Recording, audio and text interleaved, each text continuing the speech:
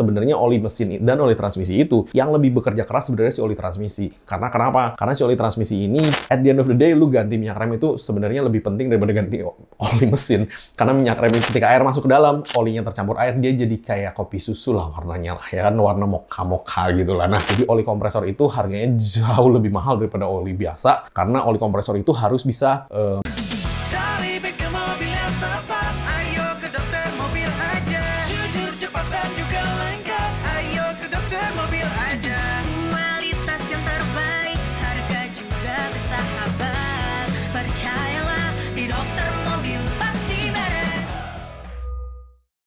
6 jenis oli mobil dan perawatannya. Nah, ya semua orang berpikir bahwa oli di mesin itu cuma sedikit kan, yaitu cuma oli mesin doang. Nah, sebenarnya tidak ya, ada oli lebih banyak lagi dan kita tidak hanya harus merawat dengan servis-servis aja ya kan. Nah, definisi servis juga Anda butuh tanyakan ke bengkel-bengkel yang Anda biasa pergi atau biasa Anda datengin, servis itu apa aja kan gitu kan.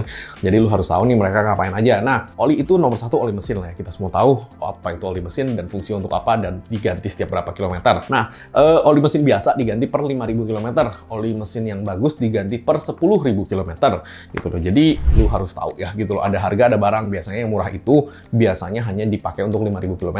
Kalau yang ada harganya biasanya dia dipakai untuk 10.000 km. Kenapa? Karena memang satu base oilnya cukup sehingga dia oli itu memang umurnya lama dari sononya gitu kan. Dua dengan uh, olinya lebih lama itu Anda dapat perlindungan lebih lama dan Anda lebih sedikit ke bengkel. Jadi sebenarnya Anda lebih hemat juga gitu kan. Nah, oli transmisi. Nah, oli transmisi itu banyak ya. Ada beberapa beberapa jenis tidak bisa disamaratakan. Yang paling common atau yang paling biasa dipakai adalah ATF dan CVT. Nah, oli ATF itu berbeda dengan CVT. CVT juga punya CVT 1 dan CVT 2, jadi jangan salah, ya kan? Nah, itu semua ada di buku manual kalau Anda mau ganti oli transmisi. Saran saya, oli transmisi itu diganti per 20.000 km sekali. Kenapa? Sebenarnya oli mesin dan oli transmisi itu yang lebih bekerja keras sebenarnya si oli transmisi. Karena kenapa? Karena si oli transmisi ini kalau misalkan tergantung Anda bawanya sih ya, maksudnya kalau Anda kena macet, Anda jarang balikin ke N itu biar udah pasti itu si oli transmisi bekerja lebih keras. Makanya saran saya tiap 20.000 km atau sampai 20 sampai 30.000 km lah ya, itu lu ganti sekali. Jadi ketika lu ganti itu dan terus sering ganti, itu menghindari si oli itu angus. Ketika oli itu angus, biasanya ada part-part yang lebih cepat terkikis di dalam transmisi itu. Nah, minyak rem atau oli rem. Nah, minyak rem atau oli rem itu jujur ngomong ya, kalau di luar negeri ganti itu setahun sekali. Karena kenapa? Minyak rem itu hidroskopik ya, bukan hidrofobik ya, higroskopik. Higroskopik itu menarik uap air. Jadi ketika minyak rem itu udah terbuka dari botol kerak, lu tuang, itu tuh sudah menarik air. Nah, water content yang ada di dalam minyak itulah yang menentukan titik didih dari minyak itu. Kalau Anda ngerti yang namanya ilmu pengereman, titik didih di rem itu penting banget. Kenapa? Jujur aja, minyak rem untuk harian sama minyak rem untuk racing itu berbeda. Berbeda jauh dan harganya berbeda jauh. Kayak minyak rem racing nih, paling bagus hari ini menurut saya.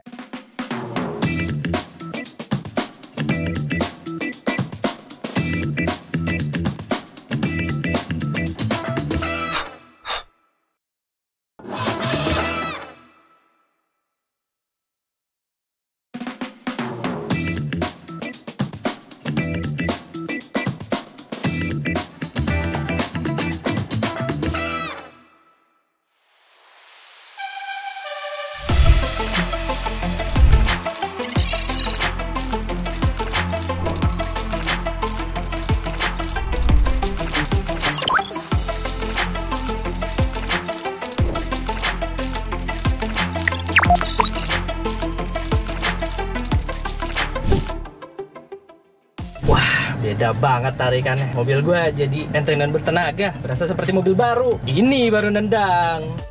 Tune up jetting di dokter mobil, ini baru nendang. endless minyak remnya ya kita bukan ngomong yang lain-lain ya karena kenapa ketika lu udah balapan udah lebih dari 500 sampai 800 horsepower mobilnya itu minyak rem itu mendidih loh ketika lu injek rem minyak remnya mendidih loh nah itu kan ke ekstrim ya. Dari ekstrim itu kan baru kita dial, dial down ke harian ya karena minyak remnya itu mendidih itu kita ukur tuh dia mendidihnya tuh di temperatur berapa. Nah kalau misalkan dia sudah mendidih itu berarti brake failure atau rem itu udah nggak bisa jalan lagi nih, udah nggak bisa lu rem nih, which is bener-bener bahaya gitu kan. Nah yang membuat salah satu hal yang membuat si minyak rem itu mendidih adalah water content. Minyak remnya misalnya disetel mendidih di 200 derajat misalnya gitu kan dia baru mendidih. Nah ketika itu 100% minyak rem, ketika minyak rem itu tercampur air air itu kan mendidih 100 derajat ya kan. Nah, kecampur 20% aja deh.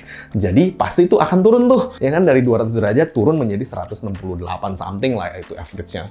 Jadi si water content atau kadar air di dalam minyak rem itu itulah yang menentukan si performa si minyak rem. Makanya kalau di luar negeri itu diganti setahun sekali dan itu bener sih. Lu kalau nggak percaya, lu nggak pernah ganti minyak rem, lu ke bengkel, lu ganti sekarang. Nggak mahal kok. Lu, lu yang penting lu ganti dulu deh. Lu ganti yang biasa aja, lu ganti di pompa yang bener, yang di bleeding yang bener, lu tes yang bener ya kan. Satu, rem lu jauh, pengereman lu jauh lebih enak, jauh lebih efisien. Kedua, si pedal remnya juga jauh lebih empuk, lu injek gitu. Jadi at the end of the day, lu ganti minyak rem itu sebenarnya lebih penting daripada ganti oli mesin. Karena minyak rem itu yang menyelamatkan lu dan yang memastikan lu sampai tujuan dengan selamat. Mesin mah cuma ngedorong doang gitu kan. Nah yang keempat adalah oli gardan. Oli gardan itu hanya di mobil-mobil yang memiliki gardan ya. Jadi tidak semua mobil punya gardan, mobil-mobil yang baru, terutama Honda, dia tidak suka gardan kalau Honda. Honda itu sukanya langsung engine transmisi, makanya dia front wheel drive, nah kan? Front engine dan front wheel drive, jadi dia FF namanya. Nah, kalau yang gardan itu biasanya oli gardan itu oli 90 ya, high point oil, gear oil itu cuman dipakai untuk pelumasan dan dia gear oilnya itu kental. Sebenarnya semakin kental semakin bagus ya kan, karena pelumasannya semakin bagus, tetapi semakin kental semakin berat juga untuk diputar. Makanya biasanya kita pakai oli 80, 90, Roret EPA atau high point oil, oke lah itulah. Dan oli gardan itu lama ya jangka waktunya ya, karena dia kan kental ya kan. Itu bisa dipakai 70.000 km atau satu kali lu kena banjir. Jadi di garden itu ada lubang hawa namanya lubang penguapan oli.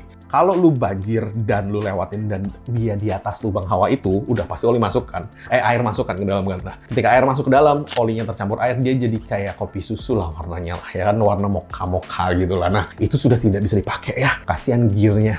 Jadi itu harus dibuka, dibongkar, dibuang, disemprotin semua, dibersihin dan digris ulang dan baru kita isi oli gardan yang baru gitu loh. Dah digris ulang ya, jangan lupa ya. Walaupun cuma sedikit lu gris ulang karena kenapa sih gris itu ialah yang akan melindungi di beberapa ribu putaran pertama gitu sebelum si olinya itu benar-benar bekerja gitu loh. Nah, nomor 5 oli power steering. Nah, oli power steering itu dibutuhkan di mobil-mobil yang masih pakai power steering. Di mobil-mobil yang baru udah electric power steering atau EPS itu tidak pakai oli power steering. EPS bagusnya itu dia lebih efisien, mobilnya lebih irit karena si mesin tidak dipakai untuk memompa si power steering. Jeleknya kalau rusak lu ganti satu modul nih, satu full set nih. Nah, itu 7 juta sampai 12 juta rusak ya kan. Kalau power steering biasa memang dia lebih tidak efisien, lebih boros ke engine karena engine-nya juga muterin itu.